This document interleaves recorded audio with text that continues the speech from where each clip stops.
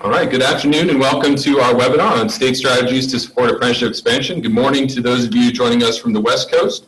This webinar is being hosted by the National Governors Association, specifically NGA Solutions, and the Center on Education and Skills at New America. This is Michael Prebil, the Center on Education and Skills. Thanks to all of us, all of you who are joining us today. So we'll uh, bring up the agenda for the event here. Before I pass it off to my uh, colleague Lul Tesfai to get us started, um, we'll just get just run through a few housekeeping items. So for the moment, uh, we have uh, everyone for our presenters on mute. You're welcome to mute your own line, but there's absolutely no need to. Uh, we've got some really knowledgeable practitioners today from three states who will be sharing their experience with us. As much as possible, we'd like to keep the tone of this webinar conversational within the time constraints we've got. So if you've got a question that comes up during any of the following presentations, we'd ask that you enter it in the chat box uh, you can also, there's a button that, set, that allows you to raise your hand. You can do that if you prefer. Uh, if you send a chat, you can send it to the whole group or you can send it to New America directly. Uh, if we have time at the end of each presentation, we'll put those questions to the presenters. If not, we'll do our best to field them during the question period uh, at the end of the day. Also, just to let you know, we are recording this webinar and we'll be able to share the conversation and the slides around after the event. So with that, I'll pass it off to my colleague Lul Tesfai, a senior policy analyst at New America's Center on Education and Skills, who will provide an overview of New America's research and advocacy around apprenticeship. Great, thank you, Mike. And hello to everyone on the line. Um, New America is a nonpartisan think tank that's based here in Washington, D.C., with offices around the country. And our team, the Center on Education and Skills at New America, is a research and development program focused on the intersection of education, job training, and workforce development. Over the last few years, we've done a lot of work related to apprenticeship, everything from researching promising practices and core components of youth apprenticeship programs that support the attainment of portable credentials um, to uh, analyzing connections between apprenticeship and higher education systems to support the development of programs that result in post-secondary credentials and degrees that are required for entry to and advancement in high-growth, high-wage careers. We've also done some sector-specific work looking at nursing in uh, apprenticeship in nursing occupations, and today we're really excited to talk about our research related to state policies to support apprenticeship. But you might be wondering, what is apprenticeship? Late last year, the Apprenticeship Forward Collaborative, which is co-led by New America and the National Skills Coalition and includes about a dozen national organizations, including NGA, released a definition of a quality apprenticeship program. And the purpose of this definition is to level set and make sure that there's a common understanding of the core components of a quality apprenticeship program. And those include paid, structured on-the-job training combined with classroom instruction, also known as related technical instruction clearly defined wage, uh, clearly defined wage structure with pay increases as individuals increase their skills high quality and standards based evaluation of program content, and ongoing assessments of um, the program that culminates in an industry recognized credential as well as full time employment. And while apprenticeship has many benefits for students and workers and employers, it, it, remains an underutilized education and workforce strategy, with apprentices and registered apprenticeship programs making up less than 1% of the workforce. Employers and industry play an integral role in the development and delivery of apprenticeships at the local level. However, state leadership is particularly important for expanding apprenticeship into key regions and to key industry sectors. States are uniquely positioned to facilitate collaboration between stakeholders, to mitigate financial and logistical challenges to st standing up apprenticeship programs, to ensuring adherence to quality and equity frameworks, and to supporting the continuous improvement of programs through policy and practice. And state leaders can also foster the development of pathways to apprenticeship for underrepresented populations. Um, by developing these systems to support the expansion and diversification of apprenticeship, states can also play a significant role in developing solutions that help their residents find good jobs, but also help businesses find good workers. So earlier this year, New America released our synthesis of the core components of a robust state apprenticeship infrastructure And this work was based on an extensive review of effective apprenticeship programs operating at the uh, local and regional levels, but also the facilitating conditions within states that made these quality programs possible. So I'll talk through those core components today. Uh, the first is really helping create and sustain employer engagement a high quality state apprenticeship system is one that recruits and supports employers of different sizes in various sector areas to develop and deliver apprenticeship programs. And because apprenticeship cannot grow without steady demand from employers, ongoing research, marketing, and technical assistance are critical to helping employers understand how apprenticeship can meet their talent development needs. And South Carolina is a state that's done this particularly well through its uh, Apprenticeship Carolina initiative. Uh, over the last 10 years, South Carolina has managed to grow from 90 registered apprenticeships to more than 1,000 and to serve over 28,000 people through both their youth and adult apprenticeship programs in the last decade. Um, their success is in part um, through the deployment reports to employers across the state to help them stand up programs, register, and run programs. And the services received through um, was at no cost to the employer, and it's really paid off. Another core element of a quality state apprenticeship infrastructure is encouraging robust partnerships between employers and education providers. Apprenticeship combines rigorous on-the-job and classroom learning, which means that educators and employers have to work together on program design and a high quality state apprenticeship system connects apprenticeship to formal education at the secondary and sometimes also at the post-secondary level to increase the portability and transfer of credentials of value, as well as degrees that are needed for career entry and advancement. Colorado is a really good example of um, the strong partnerships that exist. Um, for years, the uh, Colorado um, has been investing in um, in uh, in public-private partnerships. Um, it's known as CareerWise Colorado, and it was really built on work from uh, former the former governor uh, John Hickenlooper, who established the Business Experiential Learning Commission, an industry-led cross-system coordination coalition of state agencies um, that ultimately resulted in the CareerWise initiative, which is a public-private partnership that coordinates all of the efforts throughout the state. A third element of a robust apprenticeship infrastructure at the state level is coordinating across state and local agencies. There is wide variation in the systems for apprenticeship from state to state, and how apprenticeships operate in a state could depend on which agency or agencies have the jurisdiction to fund, approve, uh, and monitor apprenticeship programs. So a high quality state apprenticeship system really facilitates cross agency as well as industry partnerships that support the development implementation, maintenance, and scaling of high quality apprenticeship programs. Another element is targeted funding and incentives. Quality apprenticeship programs sometimes require a considerable amount of time and resources to stand up, everything from um, developing the curriculum for the classroom component to funding the tuition of the classroom component to training mentors who will support apprentices and then also offering supplemental support services to assist apprentices and through program completion. My colleague Mike Prebil is going to talk a little bit more about the innovative ways that uh, states have been investing in the nuts and bolts uh, of apprenticeship development and implementation. And last but not least, collecting and evaluating data is another key component of a quality apprenticeship system. Um, using this data to monitor and evaluate apprenticeship systems is really important, but also to monitor uh, program and participant outcomes.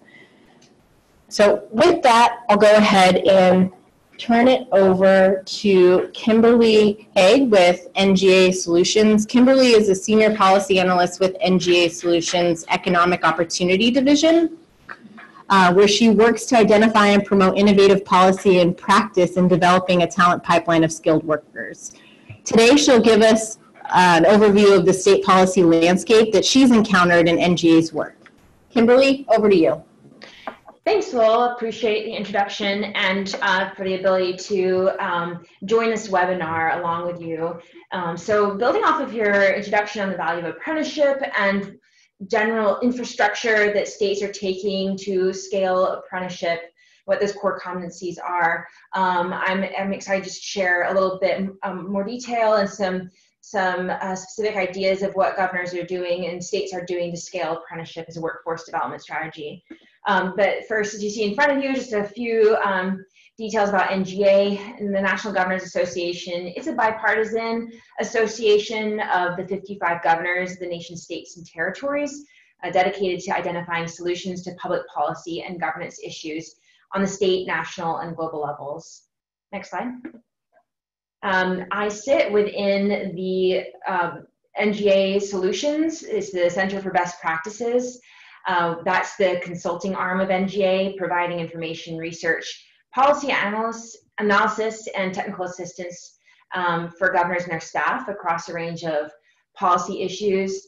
Um, specifically, I work within economic opportunity, um, and that includes programs of workforce development, human services, post-secondary, and economic development issues. So apprenticeship is a perfect example of um, a, a, strategy that governors are taking uh, that touches on all those pro program areas um, that helps prepare a workforce poised to meet the needs of business and ultimately to make the state more economically competitive. Um, governors are exploring ways to increase access to apprenticeship to prepare their citizens and their residents for the modern workforce. Next slide. So we've seen a lot of growth in apprenticeship nationwide, um, especially in recent years. Uh, you can see here that 499,000 plus apprentices have started since January 1st. Sorry, previous slide still. Um, and there's been 56% growth since 2013. Uh, we've also seen over 10,800 new apprenticeship programs created in, within the last five years, thanks to significant investment. But there's still room for growth. Next slide. Um, barriers of scale. Um, you know, as, as Lul said, apprenticeship is still very much underutilized, especially in non-traditional careers, and cited a very low number, 1% of the workforce um, is in apprenticeship programs. Um, so we can see, I mean, many reasons for that, but um, they kind of fall into these buckets. We see just a lack of awareness, first of all, um, on behalf of businesses as this, um, as a workforce and economic development strategy uh, for preparing their, their workers for the skills of the future. There's a lack of awareness on the participant side that apprenticeship can be a viable career pathway. Um, and then, of course, there's affordability for businesses. Um, sometimes it's a, a, lack of understanding, but also for just converting a, a system or a, a, onboarding program into a new program can be costly, especially in the beginning. Um, and so, especially if you consider um, that apprenticeship, high quality apprenticeship, does include a high level of mentorship and um, education. Next slide. Fortunately, there are many governors who realize and understand these barriers and are working to, um, to counter them. So just within the last several months of the 2019 State of State addresses, 10 governors have called out apprenticeship specifically in their State of State address. Um, I put up seven of the quotes here, uh, so there are several more as well. So um, I, I think you'll get these slides afterwards too, but you can always look it up on our website on nga.org. We add all of the state of the state addresses and you can see the quotes there. Um, here are some examples of evolving governance structures. So governance structures that governor, things that governors have done to strategically scale apprenticeship. Sometimes there's been a shift of of leadership um, to be able, be able to better focus on this and better strategize business interaction with, uh, with state agencies, education, workforce, and economic development agencies. So here are some examples I just wanted to highlight. Um, with in Indiana, they the governor set up the Office of Work-Based Learning and Apprenticeship, located within the Department of Workforce Development. Um, is part of Governor Holcomb's next level agenda and serves to develop and implement a framework of work-based learning pathways for both youth and adult population. So they um, first they coordinated efforts. Um, this, this office coordinates with the U.S. Department of Labor to expand registered apprenticeship. Second, it also develops other flexible and scalable programs that focus on states' key economic sectors and regional high wage, high demand growth occupations. And third, they also work to build public private partnerships to increase business and industry engagement with the education system. Next is Utah. Utah was the first state, this just happened earlier this year. It became the first state in the country to establish a position of a commissioner of apprenticeship programs. And in this position, um, they're meant to pr promote, coordinate, and educate the public about apprenticeship programs. Third, in Maryland, uh, Governor Larry Hogan um, had the state legislature move oversight of its apprenticeship from the Labor and Industry Division over to the Workforce Division. Uh, previously, the Office of Apprenticeships had a more passive regulatory role, um, tracking registered apprenticeship um, making sure their paperwork was up to date, which is very important. But in the reshuffle, um, the the apprenticeship office was placed in a cultural setting where the mission of the division is to put people to work and increase creativity of workforce training programs such as apprenticeship. And then fourth here, we have North Carolina. A bill passed um, that shifts the control of the state's apprenticeship program, which is known as Apprenticeship NC, from the Department of Commerce over to the community college system. And the goal was to streamline the program and make it more aligned with some of the community colleges' workforce development initiatives. Um, as a result, it helps provide students more post-secondary options and gives them an effective low-cost alternative to the traditional college pathway. So I put links here if you want to learn more about any of these initiatives. Um, you can get a copy of the slides and uh, it'll go to their um, either a press release on the governor's office or directly to the, the office that, um, that is in charge of apprenticeship. So in this slide, just wanted to share, um, you can go to this website at the bottom here, the Department of Labor website.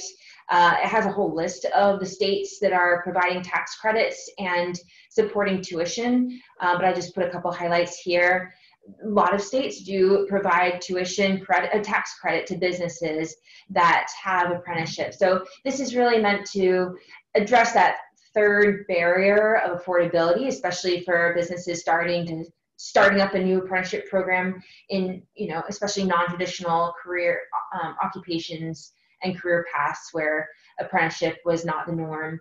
Um, sometimes it helps for states to provide this tax credit to get them off their feet.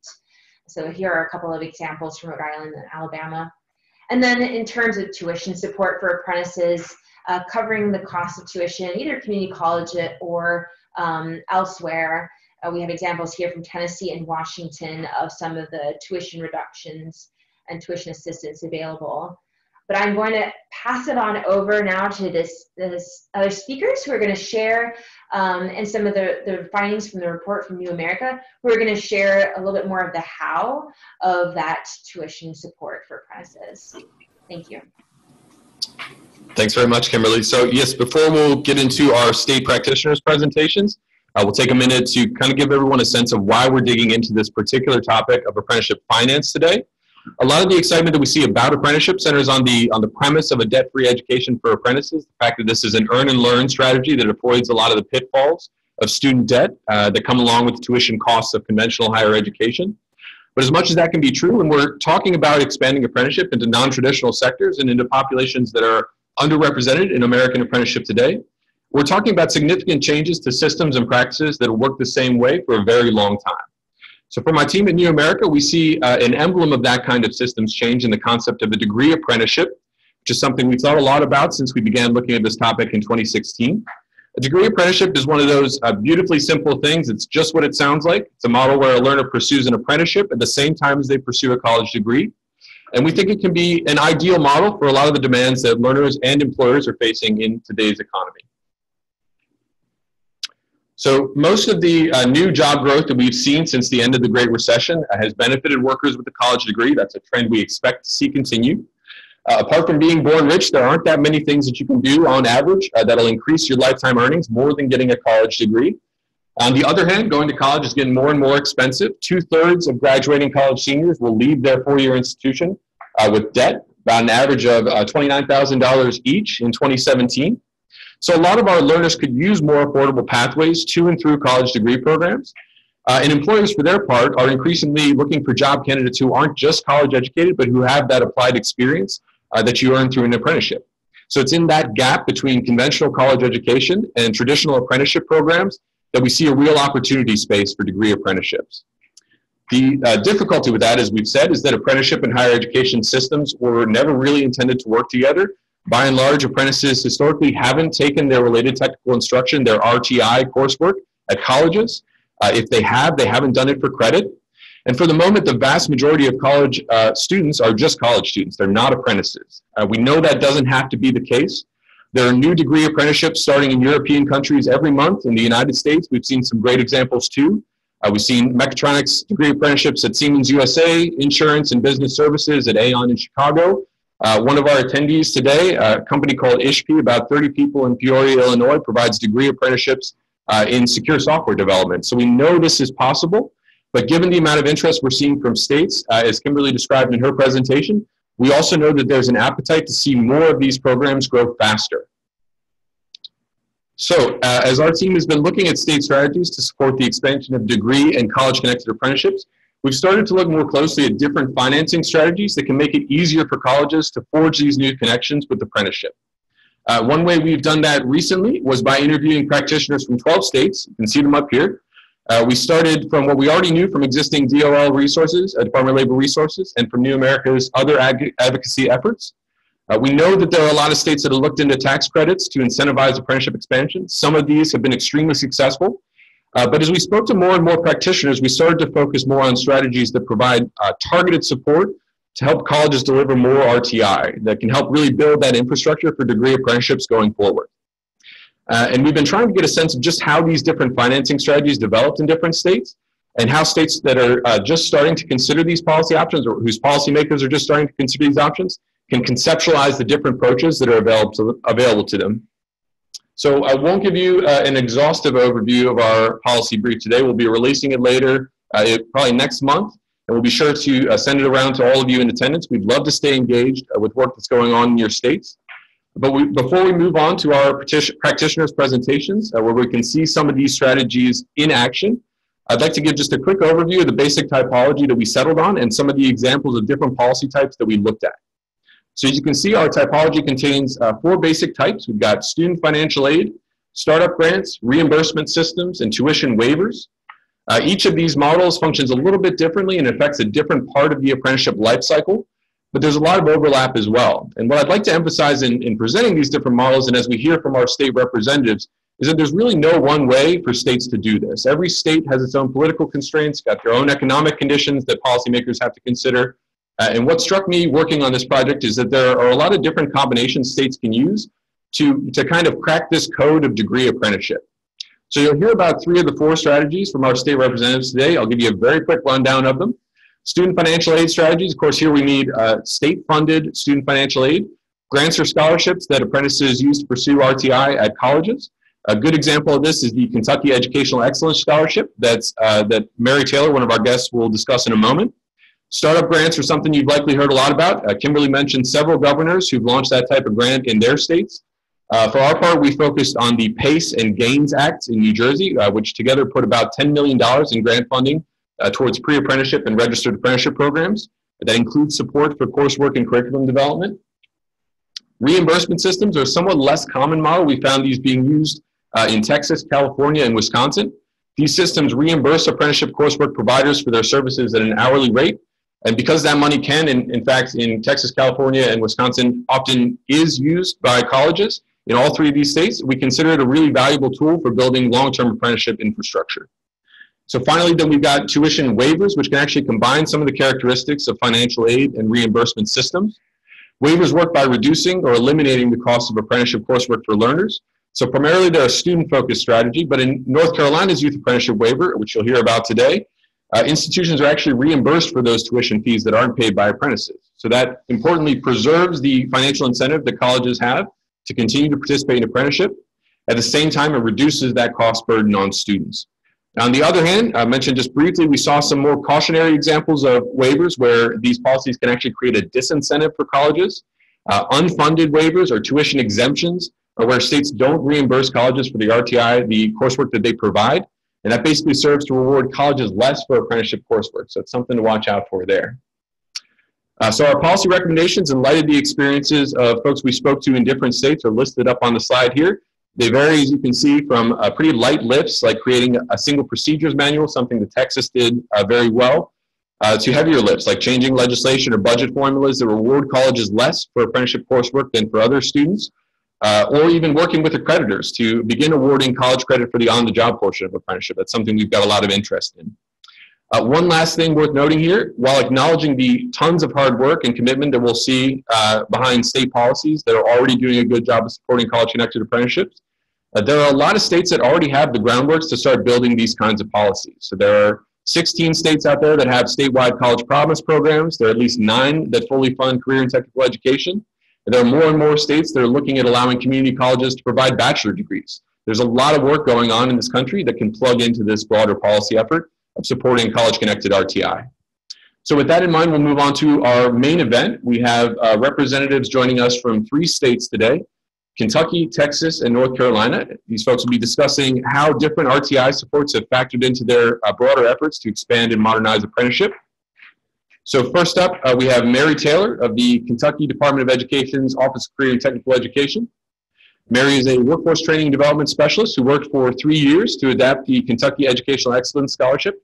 That's a program that uh, Kentucky had available for 25 years, uh, but now it can support uh, it can support apprenticeship as well. So I'll remind our audience that if you have any questions for Mary or any of our other presenters, uh, you can just send them through the chat box. We'll do our best to get to those questions after each presentation. Uh, in the worst case, we will get to them at the end of the webinar. So without further ado, uh, thanks, Mary, for joining us. We'll send it over to you.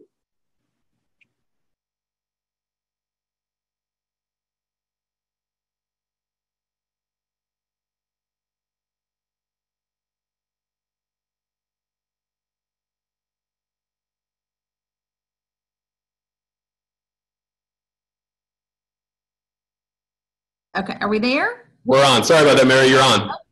Okay, so good afternoon. Thank you, Mike, um, and thank you to New America for giving Kentucky the opportunity to talk a little bit about what we have going on today and thank the audience for tuning in. As you can see on the screen, that is um, our brand, Kentucky's brand of youth apprenticeship. Of course, you know, we have the acronym, it's legal um, to have that acronym. So it's Tech Ready Apprentices for Careers in Kentucky, or affectionately we call TRAC, which we think being in the horse capital of the world, that it suits us. And so, Kentucky, Mike, if you would advance, please. Um, we have a movement to grow and expand our youth apprenticeship model. And so, a couple of strategies and ideas that we have to do that are incentivize employers to participate and entice students to participate. And so, through that, um, well, first of all, the incentivization to employers has not been able to pass yet. That is something that um, we still hope will pass. So it's kind of you know sweetens both sides of the both sides for each party involved. But on the youth apprentice or the KEES side, if you advance, Mike, this is how we think we are going to entice students. So this is the Kentucky Educational Scholarship, or we call KEES, and it's funded by the Kentucky Lottery to provide a merit-based scholarship given to students contingent upon their high school GPAs, ACT, SAT scores.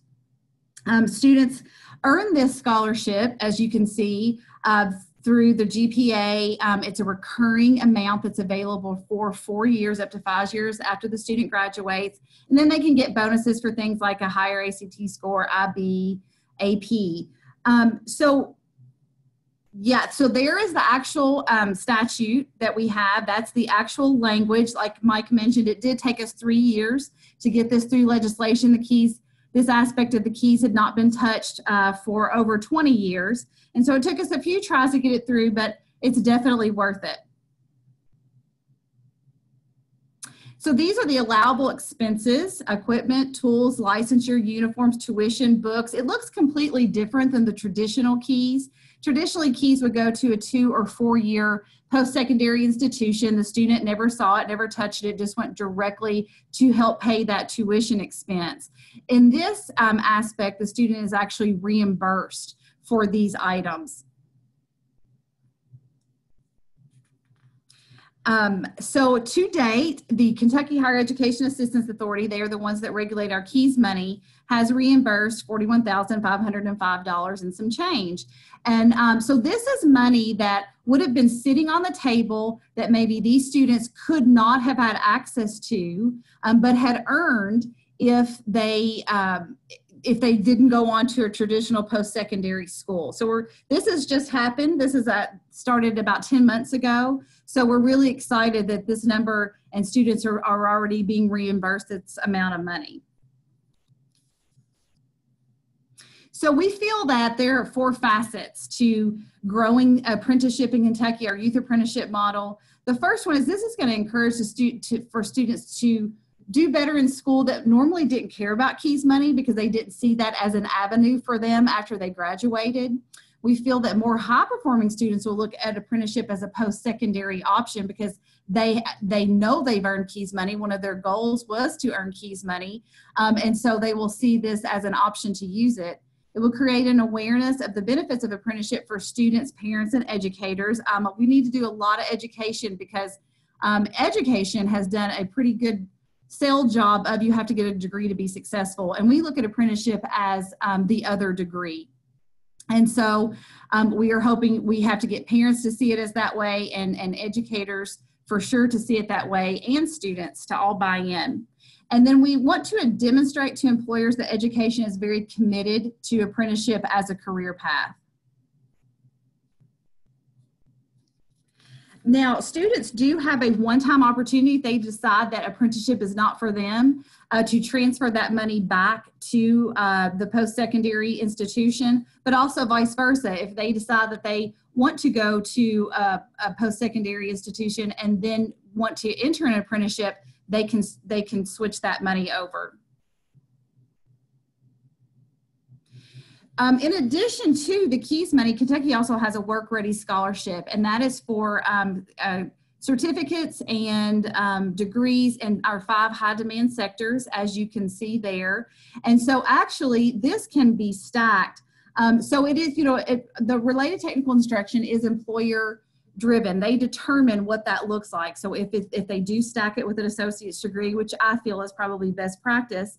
However, the student can also take advantage of this. Maybe if it's not part of their apprenticeship to get the degree, they can choose on their own to utilize this scholarship um, and work around their work schedule for their apprenticeship to then work on a degree or a certificate in a high demand sector.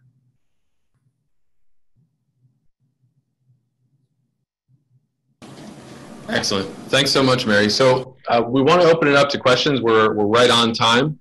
Uh, so if anybody has a particular question they'd like to address to Mary, uh, you can send that through the chat. Otherwise, you can uh, raise your hand or unmute yourself. Uh, anything works. Just feel free to, to kind of jump in. But Mary, maybe to, uh, to start it off, can you tell us just a bit, you, you know, you mentioned that there was this, this work on a tax incentive that sort of led up to the adaptation of KEES to allow registered apprentices to participate. Is there anything else you're, you're still working on going forward that you sort of want to link into this policy effort? Well, we still would love to see something to incentivize employers because that is um, one of the barriers to getting our youth apprenticeship program to grow is the lack of employer engagement and buy-in. So we are still looking and, and uh, like to tap into some of the other states that I saw on the slides earlier to take a deeper dive to see what they are doing to incentivize employers to participate. Excellent. And then from from sort of an industry perspective, can you just give us a sense of so you've got the the five high demand sectors up here. Can you give us a sense of what the sort of the economic landscape of Kentucky is looking right looking like right now, and how your workforce efforts are, are supporting that? Well, we are a very strong manufacturing state, and um, certainly that's where we started with our youth apprenticeship model. Um, but it has grown into our youth apprenticeship has grown into all of these other high demand sectors, plus the subsectors and support sectors of that. So we are seeing movement. Um, we are gaining momentum. But again, um, that we need more employers to buy in. And all honestly, on the youth side of apprenticeship, transportation continues to be a barrier for us. So we are we're working on some solutions for that though as well. Got it, Mary. Thanks again for joining us. So next up, we have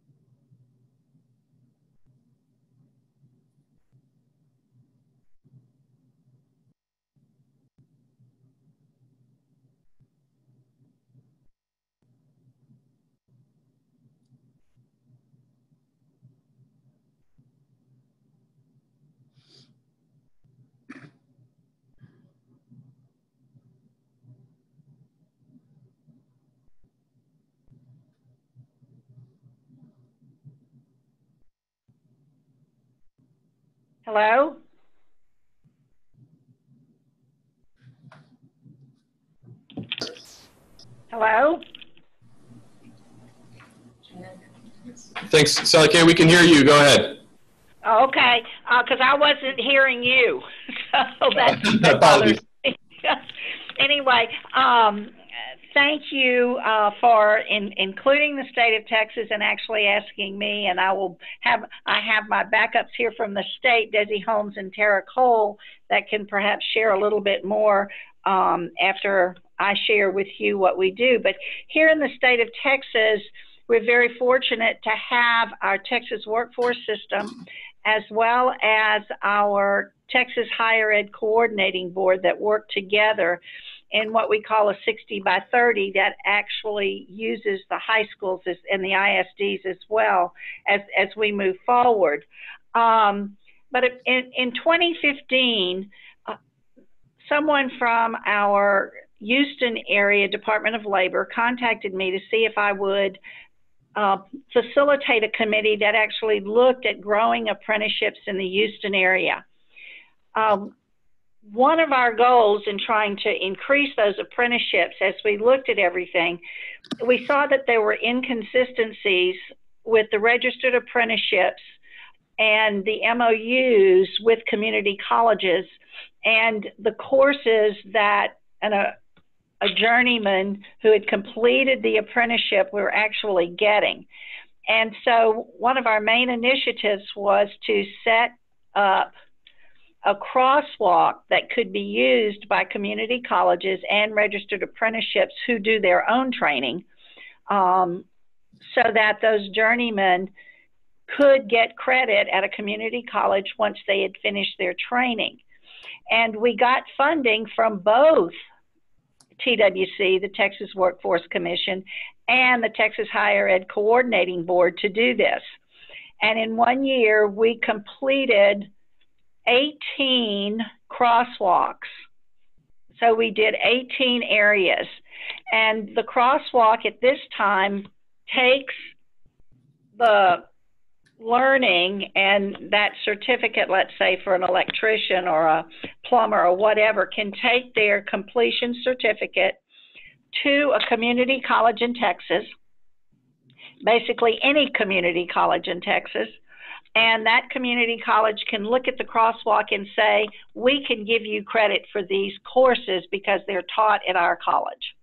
Now, all of that depends on the guidelines of the community college, but we do have the crosswalk that really helps community colleges work better and more with our already registered apprenticeships. It also encourages them to look for those opportunities because we can't train them all. And once they get that journeyman certificate, we can get our Associate of Applied Science going with them. So it works well that way. We're not competing, we are collaborating between the registered apprenticeships and the community colleges.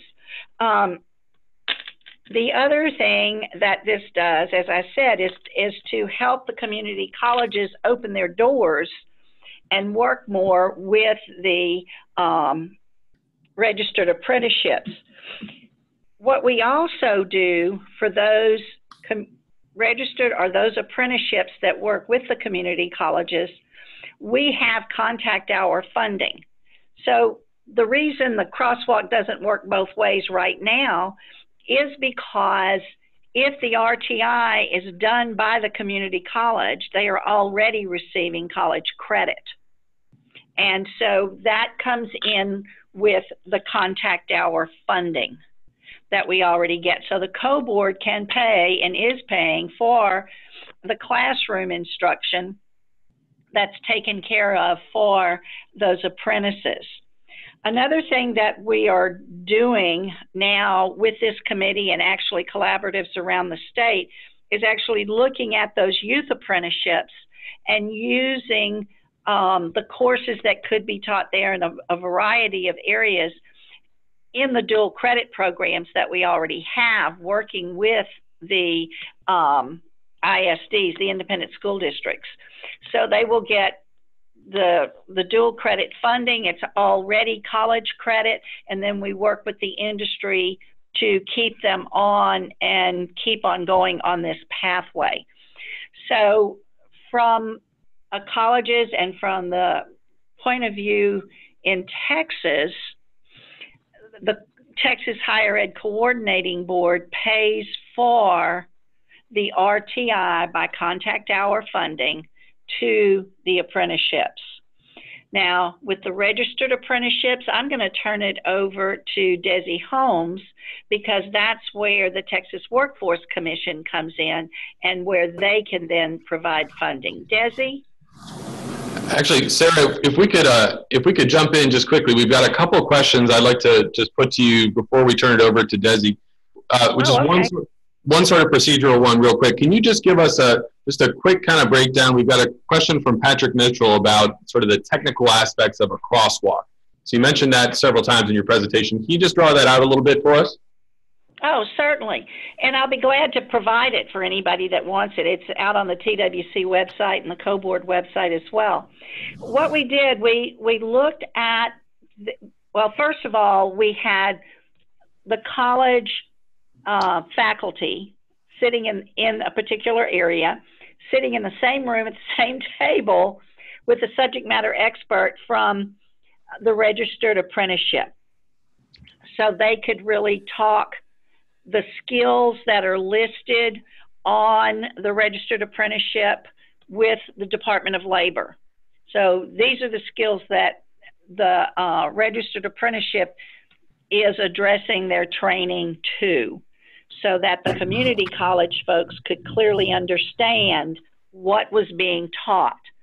So what we did, we basically just set up a matrix and down the left side of the matrix are all of the different skills that are taught.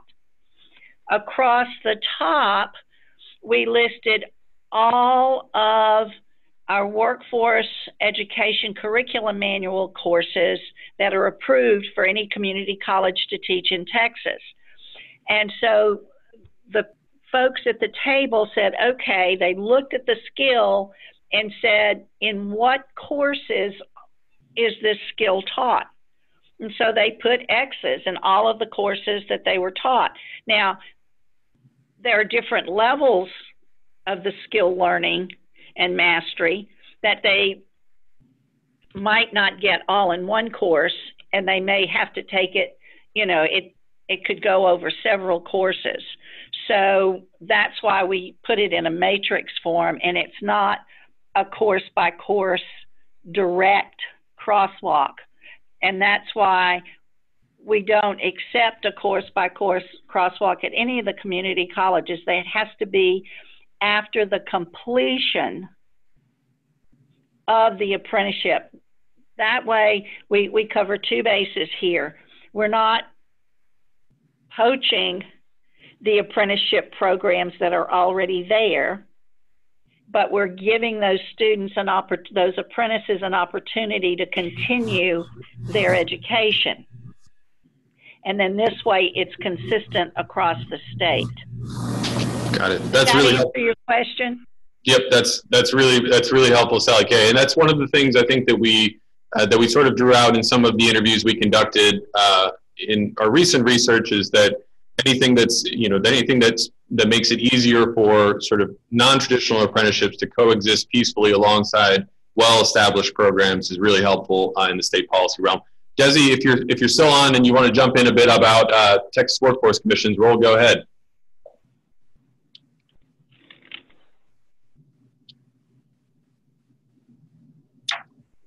Might not. Let's see.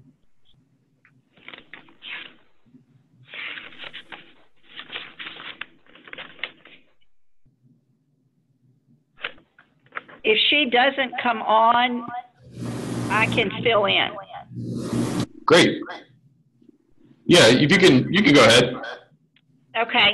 Well, the Texas Education Code, it's called Chapter 133 Funding. And we are a partner with several registered apprenticeships. And what this educa- uh, Chapter 133 funding does, it pays the co- uh, contact hour funding to the registered apprenticeships so that do their own training. So we partner with them. We we find out how many um, apprentices that they plan on having for the coming year, and and how many courses they're going to take, and how many hours that each of those courses would be in their training um, situation, and we apply for funding. And nobody is really turned down. It's just a matter of the state needs to know how many apprentices for how many hours are going to be out there. And we serve as um, the reporter of that information and certify that it was uh, so many apprentices for this many hours in, in certain classes. And so once they know exactly how many, they take that total funding pot for the year and divide it um, by the number of apprentices and the number of hours. And so it usually ends up being approximately the same thing that we would get from the Texas Higher Ed Coordinating Board for the training that we're doing by contact hour. So they're both contact hour funding, but they get them, we get them from two different sources. And the reason that I say that it's typically the registered apprenticeship that does their own training is because if we do the training, we can't double dip and get that contact hour funding from TWC and get it from the Texas Higher Ed Coordinating Board. And, and so it just simplifies it if when we work with um, a registered apprenticeship that's doing their own training, then we do Chapter 133. If Hey, we're doing Sally, yes. Oh, good, They you're finally- on. they finally got us unmuted. I had to send in a message. Um, Oh, please take over and correct whatever I said. uh, no corrections needed. Tara's going to give us the update since she's the lead for Chapter 133 in Texas. She's going to give you a few of the details. Um, just follow up on what you had started saying. Thanks, Sally. Um, so um, I'm Tara Cole. I serve as the program lead for the state's funded apprenticeship training program. And in Texas, we are authorized under the Education Code, Chapter 133, to grant funds to support the cost of related classroom instruction and registered apprenticeship training programs, whether that be in traditional or non-traditional industries. And the Chapter 133 is a state biennium appro- appropriation that the state receives.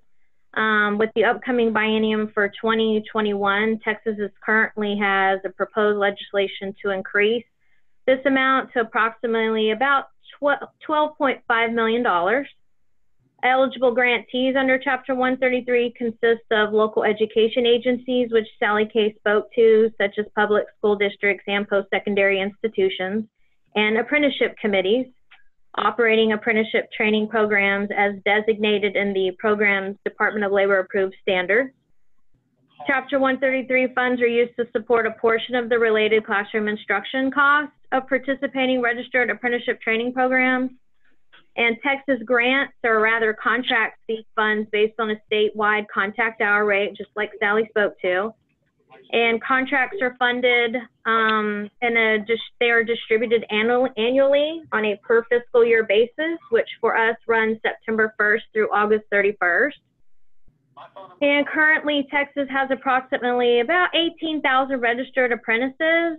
With Chapter 133 funds, we support roughly one third of that, which is over just 6,000 registered apprentices. Desi, everything you want to add? Well, I just answered a question that was on the screen. Somebody asked if, if Chapter 133 supported youth and adult. It only supports adult full-time paid employees in the private sector.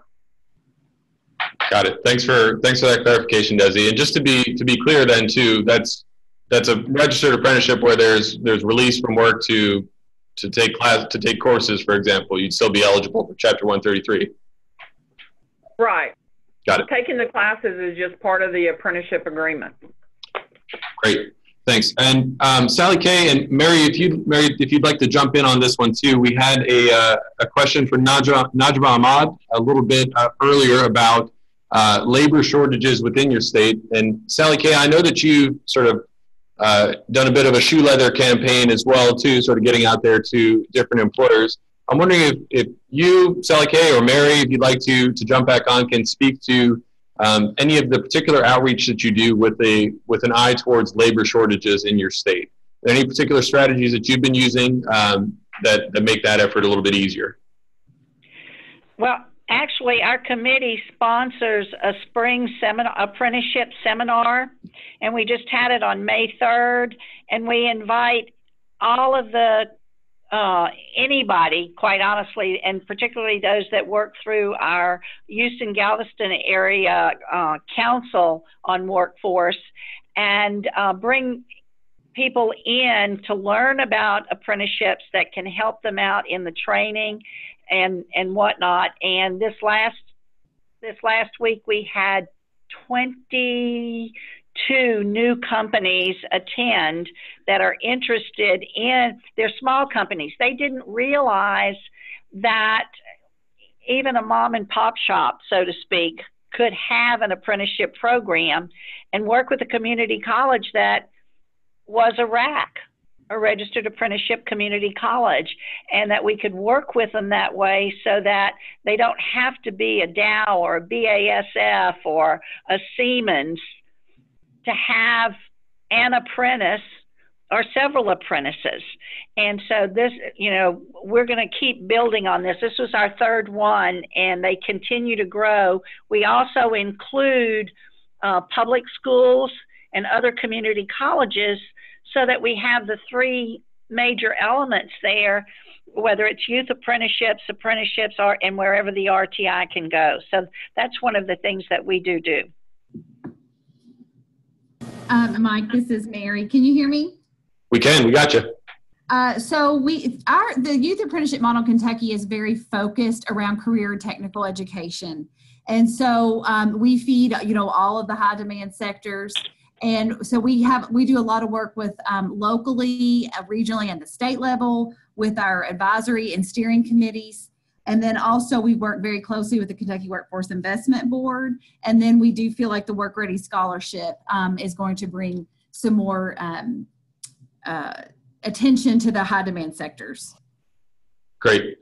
Mary sally kay thanks so much. So we've got two more questions from the audience but let's uh, move on to our third guest just to make sure that we have time, we'll get back to those two questions uh, towards the end here.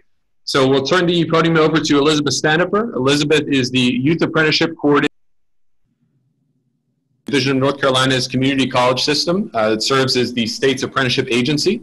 As I mentioned earlier, North Carolina's got a, a really impressive example of an apprenticeship tuition waiver. It's uh, actually run on a pretty modest budget, but it's had a huge impact on apprenticeship growth in North Carolina over the past five years. Uh, they've almost doubled their total number of apprentices. Correct me if I'm wrong there, Elizabeth. Uh, this incentive is also uh, really well connected to their statewide College Promise program, basically kicking in uh, once students stop being eligible for the College Promise dollars. So again, it's a really interesting way of uh, linking workforce and higher education efforts. So Elizabeth, if you're with us, thanks for joining us, and uh, you can take it away. Thank you. Can you hear me? Are you able to hear me? Yep, we've got you. Okay. All right, great. So I want to talk a little bit about policy and legislation in North Carolina and how that leads to dollars to support apprenticeship. The state of North Carolina supports Apprenticeship NC as an intermediary for apprenticeship sponsors with roughly $850,000. So with a small budget and staff, we rely, we rely on our partnership with other state agencies through their grant funding and policies in order to scale apprenticeship. And those three partnerships are the community college, the K 12 system, and the North Carolina Department of Commerce. So I'm going to go through a timeline very quickly of how we came together as a state with these state agencies that uh, to create an infrastructure that supports apprenticeship. So in 2011, the first thing that happened was we discontinued fees required for sponsors to register apprenticeship programs. That was an issue that our industry partners brought to us. So we eradicated that and it, during the same year, our community college system began their Career and College Promise operating guidelines. And this is our dual enrollment program and we uh, really put a lot of money into that. Just for example, we have about 45,000 students in North Carolina currently dually enrolled, and many of those are apprentices. So we focused on college transfer and CTE curriculum pathways, and that is our foundation for youth apprenticeships in North Carolina. Um, we focused on eligibility requirements through CCP and associate's degree, degree attainment through early college completion as well. And again, a great statistic, we have 26,000 students enrolled in our early colleges or our innovative high schools. 4,500 graduated last year, and 3,000 of those attained an associate's degree. And again, that is an infrastructure for our apprenticeship program, and many of those students are apprentices. Next slide. And then in 2012, uh, North Carolina sent a multi-agency team to Harvard to study pathway models. This was led by the North Carolina Department of Commerce, attended also by community colleges, K-12 partners, and industry partners. As a result of that, uh, we had some policy around prosperity grants. So the first prosperity grant that we used to start to uh, fund these K-12 partnerships that move students seamlessly into the community college uh, happened that year with two more partners, at least one of them being a community college and two LEAs. And we had never done that before. We had never had that type of interaction. Uh, the participants got $3,000 per per, per agency, and then they had to focus on 9 through 14 with credentialing and certification. And again, that's in yellow because that is a big part of our apprenticeship program that we did not have to invent because we were already doing it in 2012. Next slide. In 2013, this multi-agency team published the North Carolina Business Engagement Guide, and that is the way that we engage with business around apprenticeship. So I gave you the link there, and you can see what we came back with, and that is how we bring all agencies together to convene in a local area to not only talk about pathways, but to talk about how apprenticeship fits in as part of that pathway. So we had some more policy that came about around community college, uh, NC Works career pathways money. This was spread over two years. It was awarded to community colleges. They led the effort to create a fast track program to focus on career pathways and move students through into work-based learning opportunities. So then 2014, next slide. Again, we have to uh, really create resources here. So our North Carolina Department of Commerce led a grant uh, application to implement NC Work Certified Career Pathways, of which work-based learning is one of their certification criteria. There was a resurgence of youth apprenticeship programs um, through industry sector and public-private partnerships that year in the manufacturing sector.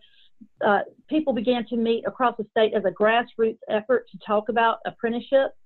And then the Apprenticeship Bureau that was held in the Department of Labor officially moved over to the Department of Commerce and rebranded as NC Works Apprenticeship. So now the funding has now moved over there to a new agency, and it's a great uh, partnership here for this Certified Career Pathway effort. Next slide. Then in 2015, uh, we were awarded the NC Works Certified Career Pathways Grant. We started working with middle school students through dislocated workers with a, a, certification criteria that involved eight different items or areas that these these uh, groups needed to focus on. The partners that were required by policy to be part of these certified career pathways were the workforce development boards, the community colleges, and K-12. The workforce boards, the policy in North Carolina said that workforce development boards were required to certify two pathways um, by 2017. Also, prosperity zones were formed that realigned economic regions. Next slide. And this certified career pathway policy uh, created a roadmap that connected youth, adults, and dislocated workers to credentialing, including work-based learning. And it was a really great setup for us to be able to make apprenticeship easily applicable to each local area in our state. We did not have to overcome these barriers of partnership. Next slide. So these were the eight prosperity zones that were created, and th- this does rely to this does relate to funding because in each one of these prosperity zones, the North Carolina Department of Commerce houses um, someone that works with career pathways with the workforce development boards. The community college system uh, provides through our $850,000 funding someone to be an intermediary in which each one of these prosperity zones. Additionally, the Department of Public Instruction aligns their curriculum zones with these prosperity zones, so they have career technical education representation at the state level in each of these zones. Next slide. So I just wanted to just see quickly the eight criteria for certification because I think that you will agree that all of the eight criteria that were developed in policy here for North Carolina speak to what it takes to create a, in a apprenticeship program that is high quality and work-based learning there being in yellow and apprenticeship being the pinnacle of that part of a pathway. Next slide. These are just some uh, best, uh, uh, best practice examples for our career pathways that we give to our apprentices and our uh, potential sponsors so that we can uh, gain interest and we can just flip through these real quickly. These are some brochures that just show different information. We had monies from grants that went toward developing these. Um, another best practice example, bringing uh, different agencies together to recruit students and talk to them about training in their local areas. And all of these examples are the result of all of our state agencies that are operating in local areas working together. Next slide. Some more uh, ways that we market and we get students excited about careers and apprenticeships through marketing and outreach. Next slide. And this is just one last one, and we can flip on through that so we can go quickly. But these are just some of the things that we've done to bring apprenticeship and workforce development to the fore, forefront. Okay, we can keep going. Okay, so then in 2016, this is what well, we alluded to earlier. There was a community college tuition waiver that was created, and it said that a high school student who is registered as a pre-apprentice or apprentice before their high school graduation date will receive a community college tuition waiver if they are enrolled within 120 days after graduation. And these are the numbers that we uh, were talking about. He talked about doubling. We actually more than doubled our apprenticeship numbers based on this piece of legislation. We had 850 youth apprentices in North Carolina around the time that this legislation passed. And then if we go over to 2017, we moved from the Department of Commerce to the community college system and were rebranded again Apprenticeship NC. So this gave us inroads into industry. And now, of course, funding again is moved over to the community college system to support our program. A position focused on youth apprenticeship, which is me, was created, and the General Assembly voted to uh, fund this full time. Originally, it was a grant through the USDOL, an accelerator grant that paid for this position. So now today, because of these funding streams, through the General Assembly and grants and just the collaboration between all of our state agencies. There are around 1,487 youth apprentices registered in North Carolina by 2017. So now let's go to 2018. Um, the North Carolina Department of Public Instruction extended its work-based learning insurance policy to include pre-apprentices and apprentices because that was a barrier that we had in North Carolina with some of our industry partners. This year also, the legislator granted a four county consortium and its apprenticeship partners over $3 million to create a proof of concept for creating high quality youth apprenticeship programs. Our industry sector partnerships grew to include participation in many sectors like healthcare, skilled trades, IT, transportation. And at the end of this year, we had almost 2,500 youth apprentices. Oh, can you go right back? We had almost 2,500 youth apprentices in North Carolina by the end of that year. And that year, the governor unveiled a navigator system uh, that is created to connect industry and education to work-based learning opportunities. And now we're up to 2019 this year. Apprenticeship, um, um, policy regarding tuition assistance grants for related education courses in community college are starting to, to extend to continuing education coursework that if a credential is earned in that Con Ed course, that we can um, assist those students with some tuition. Also, the North Carolina Department of Public Instruction started to push policy to allow dual enrollment credit for high school students in these Con Ed courses, particularly in the skilled trades. And then over 20 industry sector and public private partnerships have been established with more on the horizon. So early on in this work, we had about five consortia across the state. Now we have 20 with probably 20 with seven more in, in the forming stage. Next, that's about it. I think that's about it. Elizabeth, thanks so much. That, uh, so yeah, I had some doubts that you could get through that entire history, but you did. That's that's an amazing uh, set of accomplishments, um, and congratulations on on that growth. So we had um, one question from Danny Marshall a little bit earlier in the uh, presentation that I wanted to put to you first, Elizabeth. Uh, so Danny asks if uh, you're able to talk a little bit about how uh, youth in high school coordinate their K-12 and how K-12 systems coordinate funding with apprenticeship and those connections between um, between K-12 and higher ed are something that I know you've done a lot of work on. You focus a lot on in North Carolina. So maybe if you can draw that out for us a bit. Sure. So um, our College Career Promise dual enrollment program covers pre-apprentices and apprentices while they're in high school, and they get free tuition. Of course, that's at the state. Uh, the state is paying for that.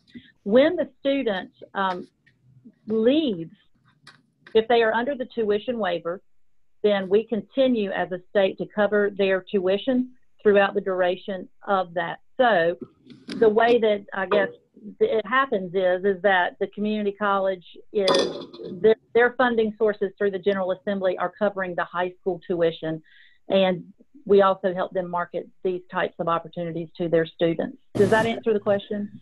That does, and maybe if you could also speak to um, speak to now, do youth apprentices also receive high school credit for their coursework?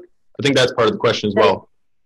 They do. So, um, College Career Promise is dual enrollment. They are receiving high school and college credit while they're in their pre-apprenticeship or apprenticeship. And as I said to them, we are trying now to get them to be able to get dual enrollment for some of our continuing education courses, which has not happened in the past.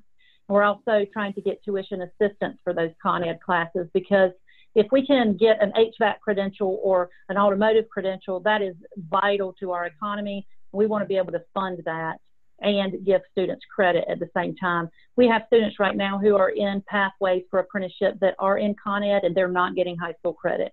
So that is a thrust here for 2019 to see if we can get that passed.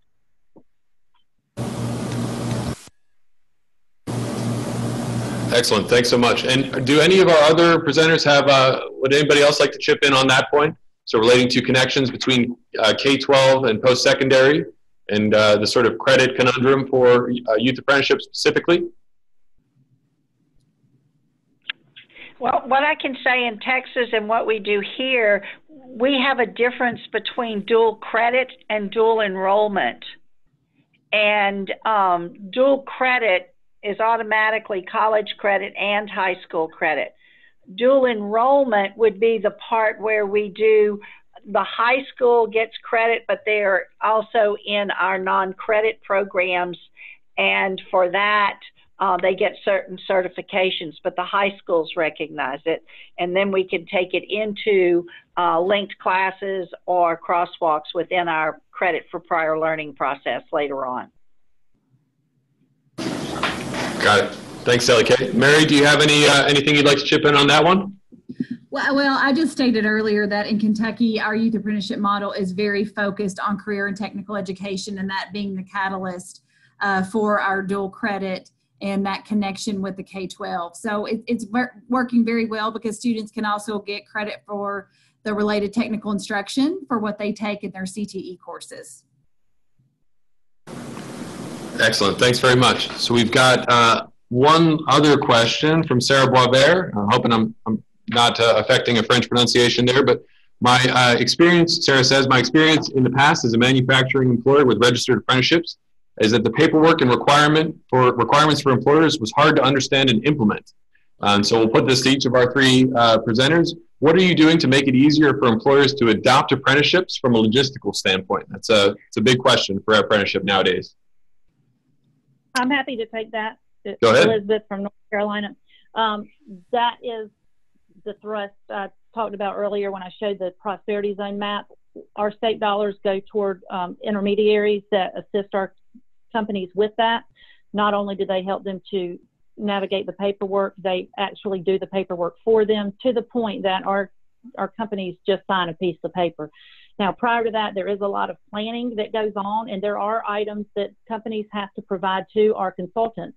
What do you want your related education to be? And the, the consultant then works with the community college, if that is the case, to bring that together and um, works with them on that task list. So once they provide the information, we have a system here called NCRAN. It stands for the North Carolina Registered Apprenticeship Network. Our consultants actually input all of the information that I just described into the database, sends it up to Raleigh, where our apprenticeship NC director is, and she approves our programs that way. Um, so we've really made a concerted effort to back down the amount of paperwork that is required for the company to actually physically do. Got it. Sounds like everybody can agree with that. And anybody else want to jump in on that sort of the logistical question about engaging with employers?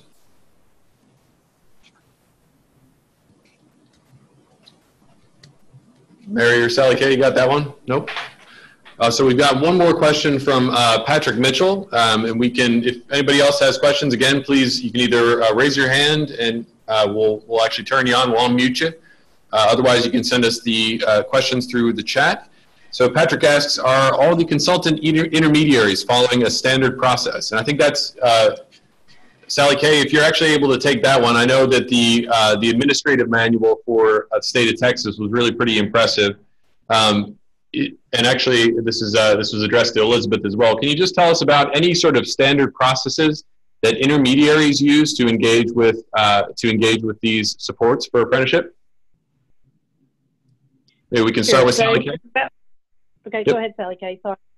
Okay. Well, we the best thing I can say is that we work very closely with our Texas Workforce Commission offices in each uh, area in in the Houston area, it's called the Houston Galveston Area Council, uh, HGAC, and then we also work closely with our Department of Labor offices in terms of helping um, those companies work together.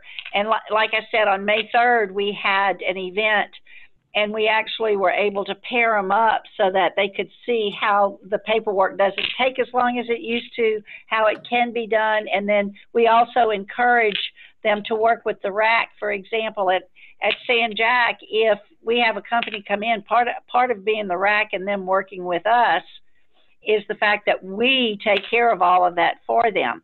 I also want to mention um, that every September, our Texas Workforce Commission has a conference focused on apprenticeships and there are it's a lot of networking and new companies learn how from others to work together and, and it's very very beneficial okay. Got it.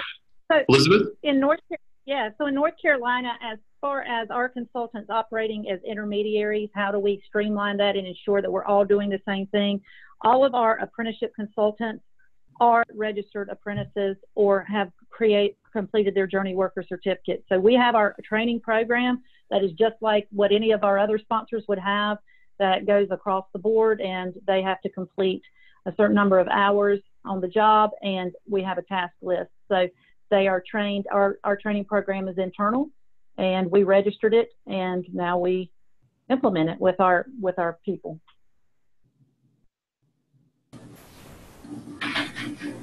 Great. Thanks very much, everyone. Again, um, let's see. Oh, so it looks like that's uh, that's all the questions we've got in the queue for the moment. Uh, if anybody else has one, of course, you can uh, you can uh, enter them in the chat there. Um, you can see we've got all of our contact information up on the screen. Uh, as we said, the NGA Solutions, New America, and then all of our presenters look forward to continuing to engage with states on this topic. Uh, so if there's anything that you'd you know, be interested in discussing further uh, on the point of whether it's apprenticeship subsidies or incentives or just you know, the sort of nuts and bolts that we uh, were able to address to our uh, presenters today, you can contact us all. Uh, we really look forward to speaking more with you. And if we uh, don't have any further questions, I think we'll take back our time and wrap up. Again, uh, thank you to our panelists, Mary Taylor of Kentucky, Elizabeth Standifer of North Carolina, Sally K. James of Texas, as well as Desi Holmes and Tara Cole. Um, as we mentioned, this uh, webinar has been recorded, so we will be putting it up online and we'll send a, around a link uh, with that information so that you can access the, uh, the presentation. We do hope you'll share it around if you know anybody else who might be interested. Uh, and we'll also be in touch uh, again with our uh, upcoming report, with New America's upcoming report early next month. But thank you again, all of you in attendance, and again to our presenters. we really look forward to continuing this discussion. Bye-bye.